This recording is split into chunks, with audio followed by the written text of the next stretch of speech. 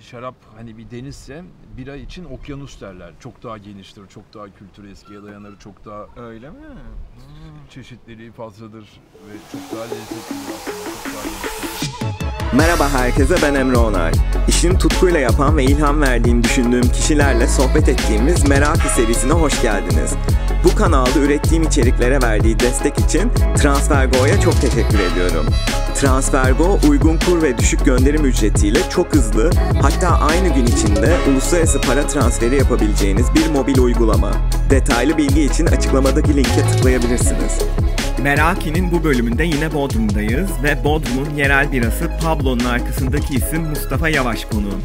Mustafa Bey, Pablo bira serüveni öncesinde de yeme içme dünyasına uzak biri değil, Bodrum'un bilinen isimlerinden.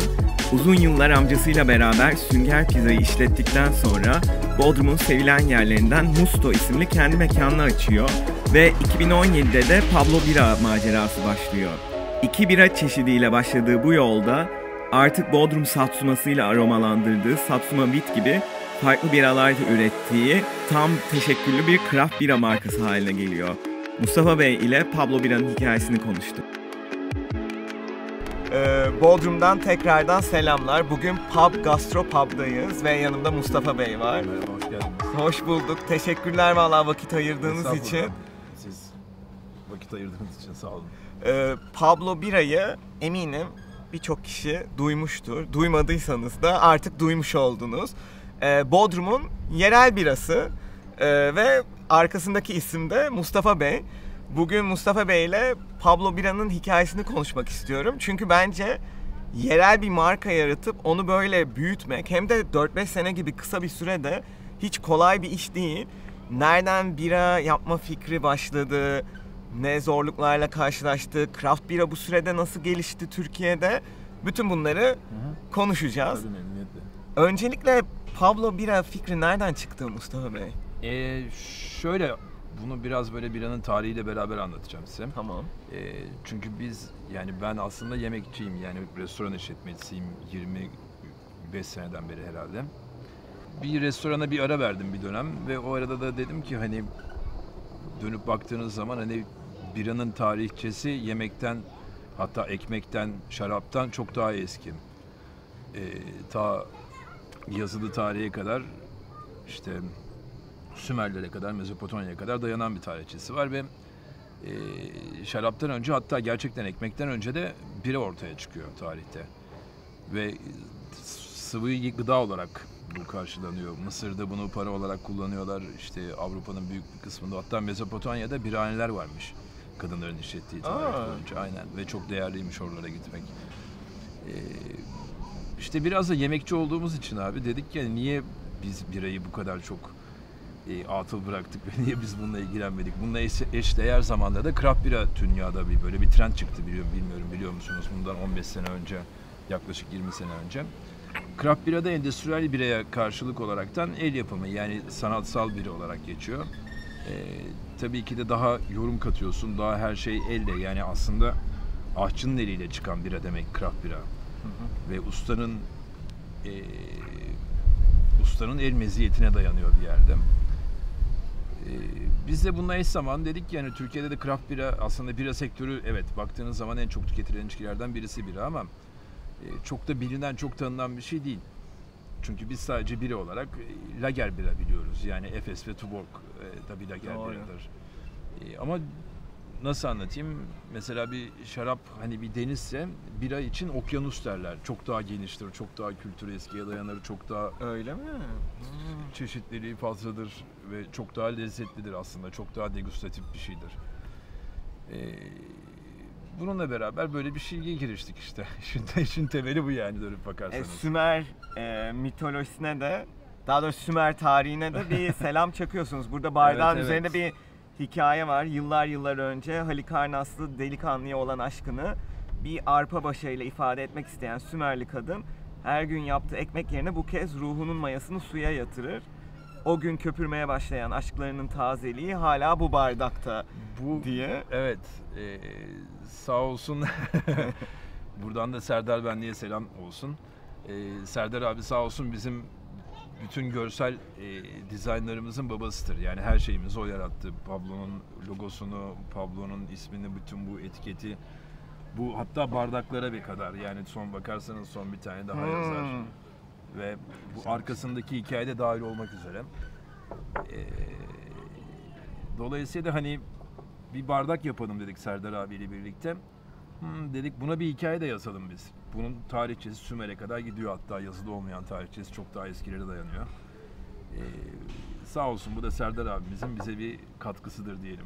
Evet, Mustafa Bey'e sordum zaten bu gerçek bir hikaye mi yoksa gerçek, siz mi? Gerçek gibi ama değil mi? Evet gerçek gibi dedim Halikarnas'ın böyle bir hikayesi de mi vardı diye. Güzel olmuş gayet.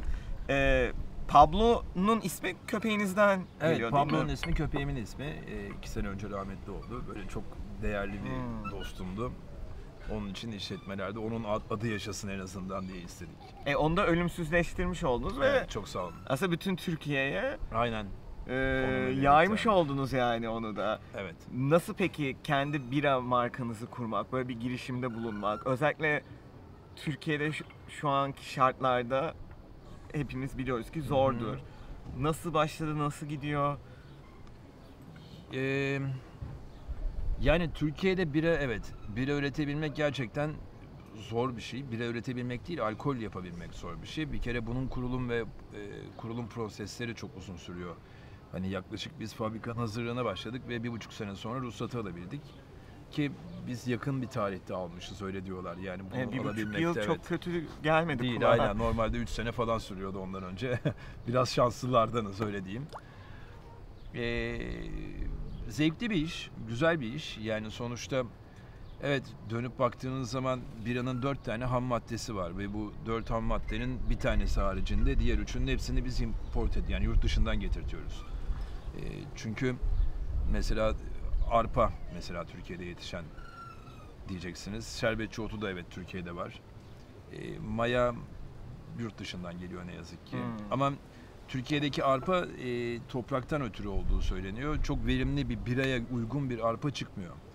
E, ve endüstriyel biradan e, craft biranın en büyük farkı daha çok e, öz maddelerle yani arpayla, buğdayla bira yapmak. Şerbetçi otu, maya ve su. Bu dört maddenin dışına çıkmamak. Ve mümkünse bizler hani pastörize veya filtre edip ürünün de o dominant tatlarını da bastırmamaya çalışıyoruz ki onlar daha ön planda kalsın. Çünkü o zaman gerçekten craft birayı hakkıyla sunabiliyorsunuz ve bütün tatlarını ön plana çıkarabiliyorsunuz. Yemek yapmak gibi yani. Tabii ki de dış etkenler de kullanıyorsunuz bunun haricinde ama onlar daha detaylar. İlk başta iki çeşit birayla başladınız. Şimdi Evet. beş çeşide çıktı. Evet. Ee, bu farklı çeşitleri nasıl buluyorsunuz? Neleri eklemek istediğiniz? Mesela Weissbier üretmeye başlamışsınız. Hı Nereden aklınıza geldi o ya da neden Weissbier'i üretmeye başladığınızda başka bir çeşit değil gibi.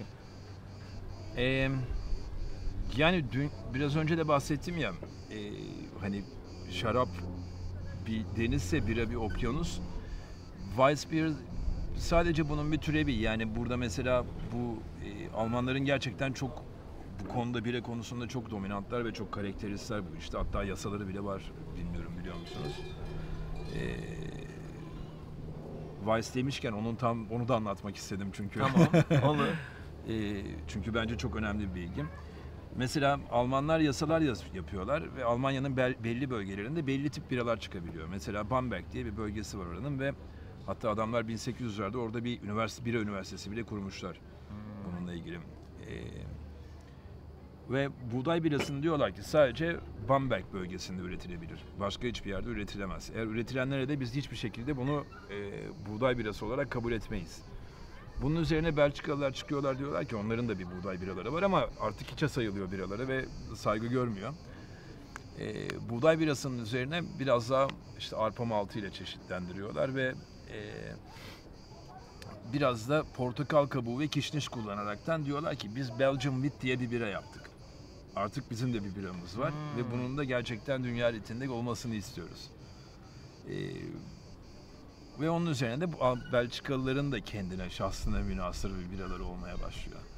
Biz de buna benzer aslında bir şey daha yaptık. Weiss biradan e, önce onu da anlatayım. E, biz de Satsuma Wit diye bir bira yaptık Bodrum'da ve biz de Bodrumluyuz ya lokaliz ve en çok burada kullanılan şey ne? mandalina. Evet. E, Bodrum mandalinası çok meşhur. E, ve Satsuma kabukları kullanaraktan bir tane buğday birası yaptık ve şu anda çok beğeniliyor. Mesela Japonya'ya en çok ihracatımız olduğu ürün o. Öyle mi? Evet evet onu da tadına baktırırım size. Aa çok ilginçmiş o ya. Çok bayağı ilginç geldi açıkçası şu an. Evet. Ben de onu sormak istiyordum. Yerel herhangi bir ürün var, kullanıyor musunuz kullanıyoruz, diye. Aynen. Hı, bir de Bodrum'un suyu. Tabii ki de bir de Bodrum'un suyu. Aynen öyle. Ee, bir tane bir kestaneli bir bira yapmıştık. Aa. Evet, kestane unuyla. Ee, o da bir kış birasıydı ve sıcak içilebiliyordu. Ee, bir tane pale ale yaptık vesaire vesaire. Yani bir sürü aslında çeşitlendiriyoruz dediğim gibi. Birada oynama şansımız çok.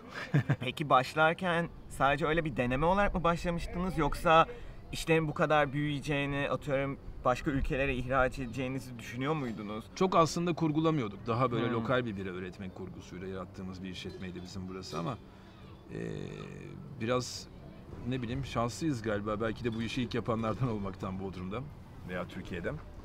Dolayısıyla da hani şu anda bütün Türkiye'ye dağıtımımız var neredeyse işin batısında. Ee, Kaç nokta vardı şu anda? Nokta bazında bilemem ama Ha. tabii ki de binlerce vardır Hı. yani. Ee, ve aynı zamanda yurt dışına da ihracatımız var. Yani Japonya, İngiltere, Almanya, Hollanda, Kıbrıs e, gibi. Çok iyi. Onlara siz mi ulaşıyorsunuz yoksa onlar mı bir şekilde buluyor? Ee, bizim de ulaştıklarımız oldu, onların da bizi buldukları da oldu. Orada nasıl peki ilgiyle nasıl bir ilgi var? Gayet iyi gidiyor yani çünkü şey e, Türkiye'den bir ürün gönderiyorsunuz ve evet ilginç bir şey. Yani Bodrum'dan çıkıyor. İnsanların ilgisini çekiyor çünkü çok Türkiye'de hani biraz İslam topluluğu olduğumuz için, Evet. İslam ülkesi olduğumuz için özellikle Avrupa'da e, insanlar çok wow Türkiye'de bira olabiliyor muymuş diye merak edip içiyorlar bence en çok. E bir de Türkiye'de çok fazla craft bira da yoktu. Yok. Yani şimdi birkaç marka var elbette. Pablo da onlardan biri ve arttı da bu 4-5 senede. Hani e, evet evet yani oturmuş bira markaları da daha farklı çeşitler çıkarmaya başladı. kesinlikle. Şu 5-6 senenin hikayesi bence o hani köklü bira markalarının Kesinlikle. yaptığı farklı girişimlerde ve pazar çeşitleniyor. Ee, bu noktada Pablo nasıl duruyor mesela? İnsanlardan gelen yorumlar nasıl? Yani beğeniyoruz. Ee, tabii ki de her şeyin bir amatörlük dönemi var. Bir geçiş dönemi var. Sonra da bir ustalık dönemi var. Biz ustalık dönemimize daha geçtiğimizi düşünmüyorum halen ben. Yani daha işte amatörlüğün bir üst level'ındayız. Geçiş dönemindeyiz. Ve daha iyi ürünler yapmaya başladık. En azından biz de bira yapmayı öğrendik. Şimdi diyebiliyorum çünkü çünkü o başka bir şey yani. Ee, bunu çeşitlendirmeyi öğrendik bununla beraber eş zamanlı. Biraz daha elimiz bu işe daha yatkınlandı.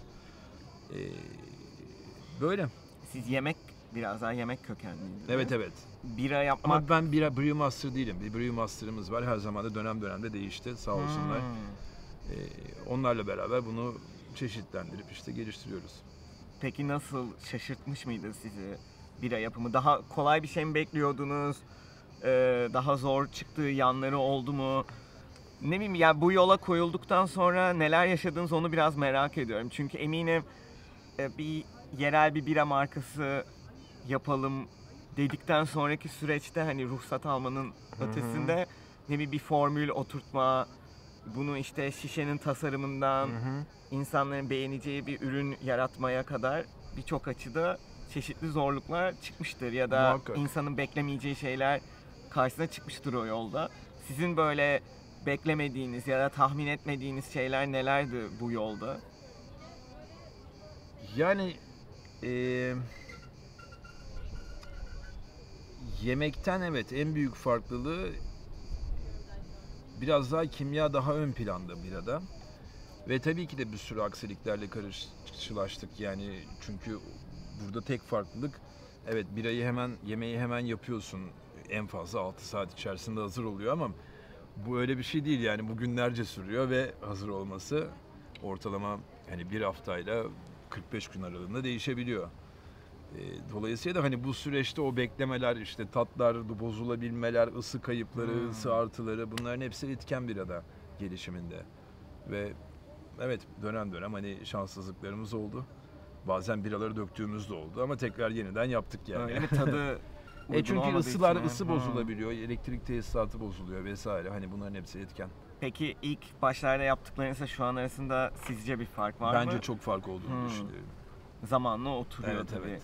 O sistemde. Yeni eklemeyi düşündüğünüz biralar var E, mı? birkaç bira daha var E, ama onları henüz daha söylemek için erken. Yani brandingi de değişti bu süreçte. İlk başta daha farklı bir etiket tasarımı vardı. Evet. Ben 2018 ya da 17, 17'de başladınız siz Hı hı. değil mi? 18'de bir otelde görmüştüm. Bodrum'da. Allah Allah Bodrum birası mı varmış falan diye böyle bir hevesle almıştım. O zaman logoda böyle e, Pablo'nun resmi daha büyüktü Daha sanki. evet, daha- Böyle mavi fontu daha farklıydı. Şimdi daha böyle şık bir Bir etiket daha, olmuş. Daha da profesyonel durmuş. Tabii Çok 5 sağ yıl geçmiş arada. Aynen. Ee, evet geldiği nokta ve gideceği nokta güzel duruyor gayet. Böyle Bodrum'da yerli bir bira markası olması da e, tatlı yani Bodrum tatiline gelmişken. Çok sağ olun. Çünkü genelde bence öyle bir şey de arttı dünyada. Hani craft biraya ilgi var Bence ya. de. İnsanlar bir yere seyahat ettiğinde oradaki yerel lezzetleri de Aynen tatmak öyle. istiyor. Hani bu yerel şarap da olabilir ki Bodrum şarapları Var. da artıyor. Ee, birkaç marka oturdu. Aynı şekilde Bodrum birası da. Hı hı. Burada her yerde içebileceğiniz bir bira yerine Bodrum'a geldiğinizde Bodrum birası içmek daha keyifli. Oranın havasından, suyundan illa Aynen, e, bir şey olun. katıyor yani. E, başka çıktı mı böyle marka peki? Rakip var mı Bodrum'da yok bildiğim kadarıyla. Ee, ama tabii ki de Türkiye'de artık yani biz ilk başladığımızda 2017 yılında e, yaklaşık 2 veya 3 firmaydık. Şu anda 9 veya 11 bile olmuş olabiliriz. Oo. Evet bir tane de Adana'da açıldı galiba. 11 firma oldu artık şu anda. Yani neredeyse artık her bölgenin kendine göre, kendine has bir biracısı var gibi. Evet, o da ilginç olacaktır. Zamanla bu markalar oturdukça, bu biralar oturdukça her bölgeninki belki farklı açılardan Kesinlikle. farklılaşacak. Kesinlikle. Tüketici de daha fazla ilgi duymaya başladı Hı hı. bence böyle şeylere. O bilinç de oluşuyor. Evet. Çünkü em, bu aslında biraz da bizim jenerasyonla alakalı diye düşünüyorum. Hmm. Çünkü artık bizler de bizim jenerasyon da artık dünyaya açıldı. Eskisi Doğru. gibi değil. Yani işte bir 70-80 jenerasyonuyla şimdi 2000'ler çok daha başka değil mi? Evet. Yani şu anda yaşayanlar bizler. Ee, yani hepimiz en azından batıda yaşayanların belki yüzde 60'ı 70'i bir şekilde bir Avrupa tecrübesi vardır veya bir dünyanın başka noktaları tecrübesi vardır ve e, bununla beraber e, insanın vizyonu da gelişiyor ve Doğru. değişiyor ve aslında yeme içme bir kültür yani ne ne yiyorsan ne içiyorsan odur diye bir laf vardır yeme içmede. Ee, mesela bir Egeli daha çok balığı tercih eder veya otu tercih eder ama bir Anadolulu daha çok etçildir. Evet. Ee, işte bu tabular da mesela biraz daha bu bizim dünyaya açılmamızla, bu jenerasyonun dünyaya açılmasıyla beraber bu tabular da yıkılmaya başladı. Bu tabular da genişlemeye başladı ve bununla eşdeğer olaraktan bira kültürü de çok gelişti. Şaraplı veya diğer içkilerde olduğu gibi. Ee, çünkü mesela bu bir Alman birası, buğday birası ama Türkiye'de bununla çok daha önce karşılaştığımızı zannetmiyorum. Çok yıllar önce yoktu yani en azından veya IPL diye Indian Pale Ale diye bir bira çeşidi türevi vardır. Bunlar bu da aslında bir İngiliz birası. Ee, ve Amerikalıların daha sonra bayağı geliştirdiği bir bira veya Pale Ale'ler. Ee, bunları tabii ki de yani ilk defa oralarda belki deneyimledik. Daha sonrasında da Türkiye'ye getirdik. Hani bizler de bunun öncülerinden birisiyiz. İlk IPA'li yapanlardan belki biriyiz Türkiye'de ama e, işte bunlarla beraber damaklarımız da gelişti ve değişti Evet. bence yani bir, bir up level daha yukarıya çıkardı bizleri Evet, damak tüketici olarak. de sonuçta Aynen öyle, dediğiniz daha gibi da yurt dışına bilinçlendi. seyahat ediyor. Onun da bir gustosu oturuyor. Kesinlikle. Türkiye'ye geldiğinde de onu da bekliyor Kesinlikle. mesela. İlk bira IPA'ydı hatta değil mi? Yanlış bir tanesi. IPL'di, bir tanesi de Pilsener'di, bir Lager'di. Ve şimdi Weissbier de eklenmiş. Mesela Weissbier 10 sene var. önce Weissbier Türkiye'de yoktu sanki Yoktu İthal sanırım, biralar evet. haricinde Evet, büyük evet. olasılıkla. Belki İthali bile o dönem o bile gelmiyordu. yoktu belki de. Şimdi böyle yerli Schneider bir markanın falan. bile üretim var. Ee, çok keyifli açıkçası. Çok Benim sağ olun. hoşuma gitti Çok Pablo. Bira'nın hikayesini öğrenmek. Arkasında neler oluyor, bitiyor. Ee, o zaman çok teşekkür ederim. Ben de. Bugün Çok sağ bizi konuk ettiğiniz için ve de kanalıma da konuk olduğunuz Çok için. sağ olun, çok teşekkürler. Pablo Bira'yı öğrenmek e, keyifliydi. Bodrum'a da geldiğinizde Bodrum birasını içip tatile böyle biraz yerel bir lezzet katmak bence güzel olacaktır. Bu şekilde görüşmek üzere. İşini tutkuyla yapan ve ilham verdiğini düşündüğüm kişilerle sohbet ettiğimiz içeriğimi izlediğiniz için çok teşekkürler. Bu kanalda ürettiğim içeriklere verdiği destek için Transfergo'ya da ayrıca teşekkür ediyorum. Transfergo uygun kur ve düşük gönderim ücretiyle çok hızlı hatta aynı gün içinde uluslararası para transferi yapabileceğiniz bir mobil uygulama. Üstelik Transfergo'yu kullanmaya başlayan her arkadaşınız için 22 euro ödül kazanabilirsiniz. Detaylı bilgi için açıklamadaki linke tıklayabilirsiniz.